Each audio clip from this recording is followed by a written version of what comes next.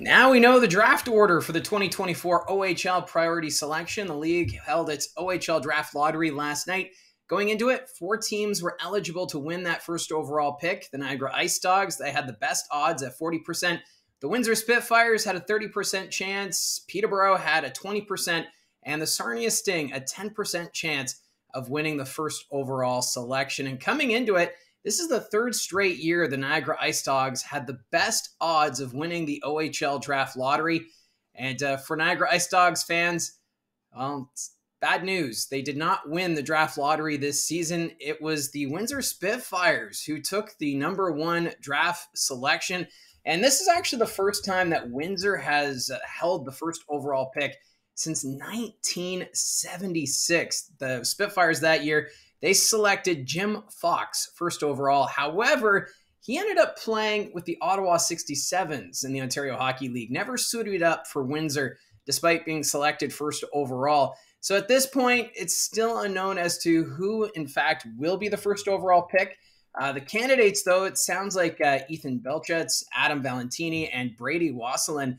Uh, those one of those three could have their name called uh, on the draft day. So it's going to be fascinating to see how the draft all plays out. And if you're a Barrie Colts fan, they are selecting fifth overall. So good news for the Barrie Colts.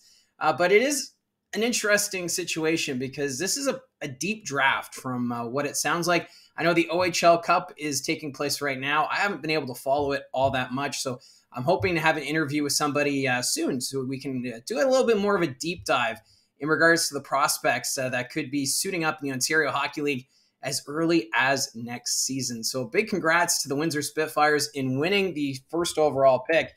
And then after that, they then drafted the second overall selection.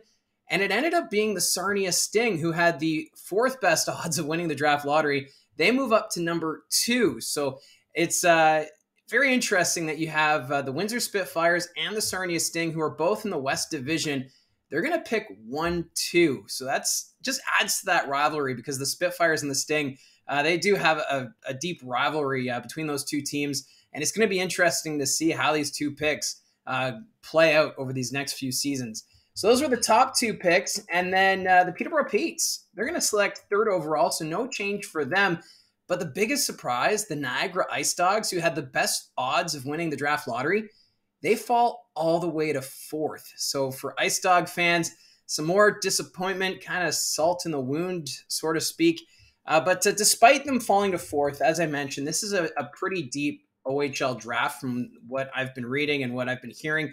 Uh, so the Niagara Ice Dogs should still get a pretty good pick at number four, but still, I feel bad for Niagara because last year they had the best odds. They fell to number two, so the Erie Otters ended up selecting Matthew Schaefer.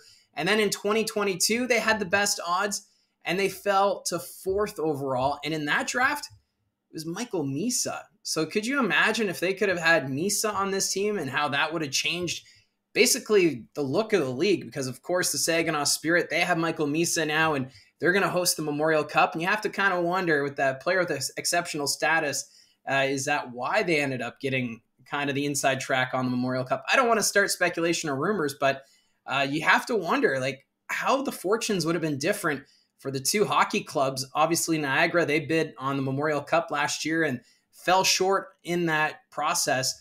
Uh, but uh, for the Ice Dogs, they did pick Sam Dickinson fourth, fourth overall in that 2022 draft. That didn't work out. He ended up being traded to the London Knights. Now the uh, Ice Dogs they did get a compulsory pick as a result, which ended up being uh, Zada, uh, who's fit in quite nicely with the Ice Dogs. He's picked fourth, fifth overall last year, and of course, uh, with that second overall pick last season, the Ice Dogs picked up Ryan Roobroeck, and he set franchise records for goals scored by a rookie. So Niagara, yes, missing out. I do feel uh, kind of bad for this team because this team has had some bad luck these last few years. They haven't been in the playoffs since 2019, and I know we've got the COVID years in there that kind of uh, skews things with the missing the playoffs, but still uh, it's been a rough few years. They had the change of ownership, they had the off ice drama uh, with uh, league investigations. And this year, with the coaching change, and it seemed like they're making progress, uh, but still ended up at the bottom of the Ontario Hockey League standings. But you got to like the pieces they have. I'm going to do a video uh, within the next week or two, just taking a look at the four teams that missed the playoffs and just looking at um, how these teams are going to fare potentially going into next season because I think the Niagara Ice Dogs, they do have some decent pieces. Uh, it's just how does everything come together and how do they use that fourth overall pick here at the OHL draft? So that's how it all worked out when it came to the uh, draft lottery last night. The Western Conference now getting very fascinating with the young talent, with Windsor and Sarnia picking one, two. Uh, that just adds to the drama in the West Division. Plus, you still have Michael Misa. He's draft eligible next season. So you're going to have the two number one picks over the last uh, three seasons playing in the West Division.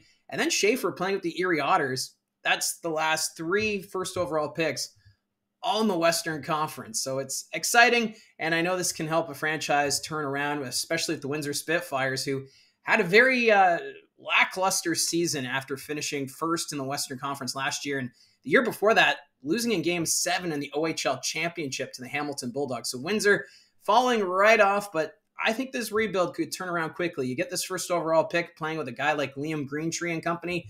And I think Windsor, I think they could turn it around. They should be a playoff team next year, but we'll have to wait and see. And I do, I love the fact that the OHL is doing this draft lottery because it, with the way it was before, the last place team would automatically get that first overall pick.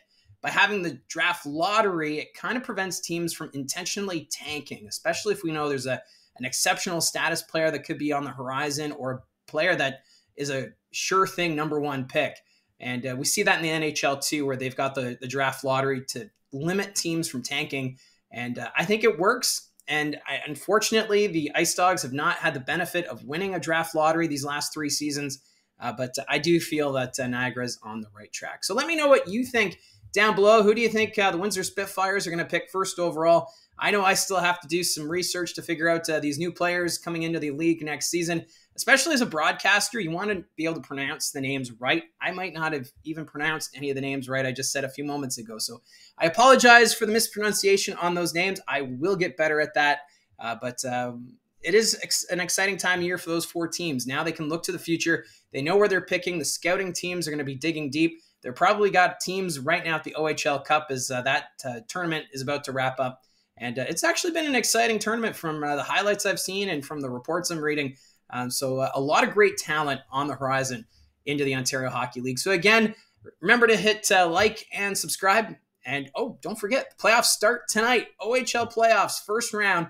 Uh, for the Barrie Colts, they're not in action until tomorrow night. That's going to be down in Oshawa. I will be at that game and expect a full recap uh, from the Tribute Communities Center tomorrow night.